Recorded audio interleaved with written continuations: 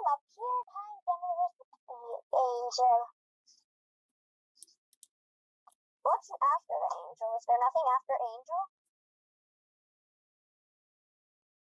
Hmm.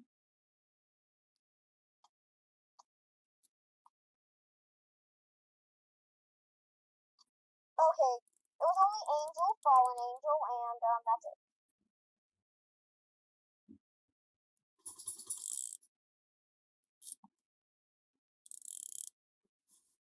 Amazing.